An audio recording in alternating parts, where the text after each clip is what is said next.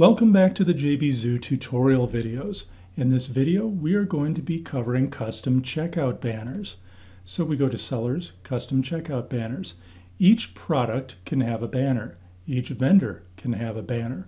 We do not have any setup in this account. So let's go to Upload a Vendor Banner.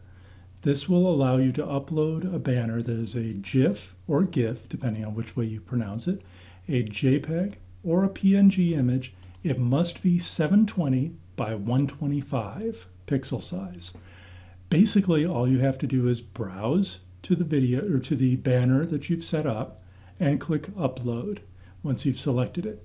This vendor banner will then appear at the top of all of your JVZoo checkout pages.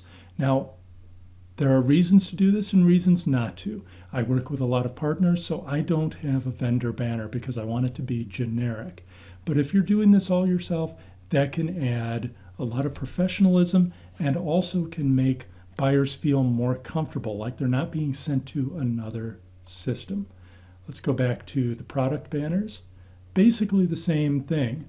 You pick your product from the list and let's go down to the one we're using for our examples, the Graphics Booster Personal Usage License.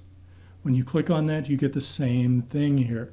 Select the product banner you've set up for that image and upload it. That banner will then show up in the checkout process.